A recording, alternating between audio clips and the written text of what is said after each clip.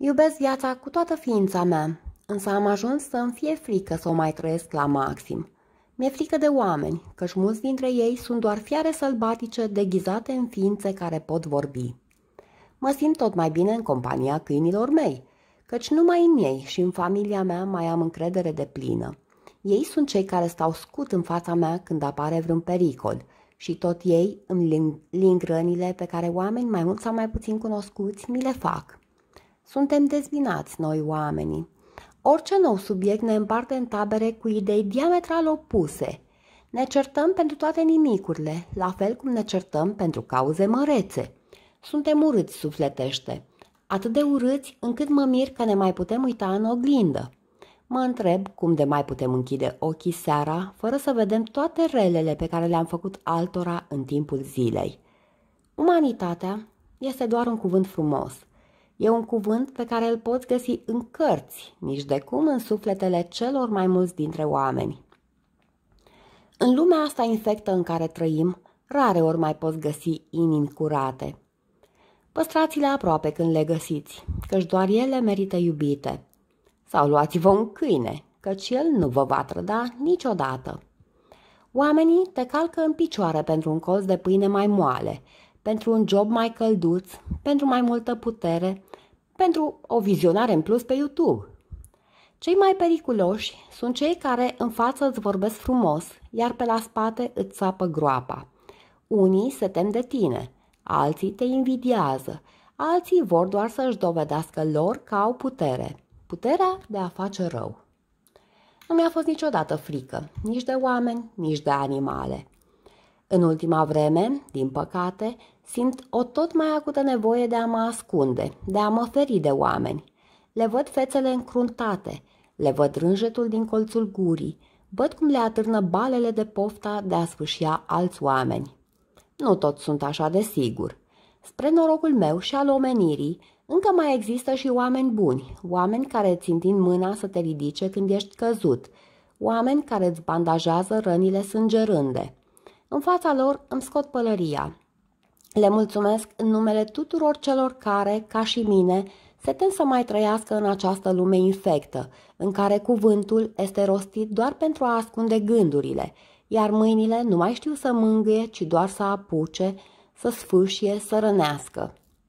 Feriți-vă, prieteni, căci lumea în care trăim este tot mai urâtă, mai rea, mai murdară. Deschideți bine ochii și priviți în jur. Nu vă lăsați amăgiți de cuvinte, ci uitați-vă după fapte. Doar ele spun adevărul. Învățați să le deosebiți de minciunile frumos ambalate. Am scris în urmă cu patru ani un articol pe blog, un articol intitulat Câteodată.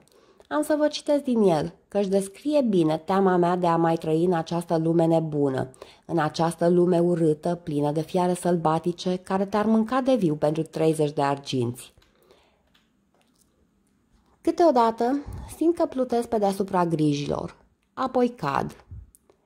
Câteodată mă doare tăcerea lumii, apoi aud urletul lupilor. Câteodată mă simt înghesuită în conserva planetei, apoi întind un deget. Câteodată când sălbatic despre umanitate, apoi o caut. Câteodată alerg spre o îmbrățișare, apoi simt cuțitul. Câteodată îmi este rece chiar și sub razele arzătoare ale soarelui de august, apoi tremur. Câteodată îmi este cald, chiar și ascunsă în nămeții albi murdari ai zilelor de după ninsori, apoi mi se înroșesc obrajii. Câteodată mă opresc și râd, apoi îmi șterg lacrima. Mi-e ploaie căzută în ape, cerc după cerc spre final. Și am să vă spun uh, câteva versuri din uh, poezia Umanitate sub escortă de Adrian Păunescu. Și între timp ne întemeiem pe ură, ne urmărim ca să ne facem rău, venind universal în stare pură și fiecare cu aportul său. Căci niciunul nu este absolut curat, toți avem păcatele noastre, mai mari sau mai mici. Și nu deloc genul de om bisericos, nici măcar credincios. Dar astea sunt valabile indiferent care ți este credința. Voi încheia acest videoclip cu un citat din cartea Ochiul Furtunii, scrisă de Patrick White.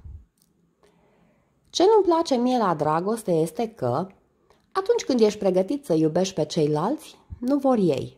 Iar când voi, vor ei, tu nu mai suporți nici măcar ideea. Dacă sunteți de acord cu mine, vă rog să-mi lăsați un semn. Un like, un comentariu, un share, ce vreți voi. Mă ajută orice, orice ați face. Am ales să vorbesc uh, despre toate astea peste filmarea cu Bruno și Onyx, câinii mei, pentru că ei sunt ființele în care am mai multă încredere, în, mai multă încredere decât în mulți dintre oameni. Le mulțumesc celor care mă urmăresc, care mă susțin și care mă iubesc. Vă pup pe toți!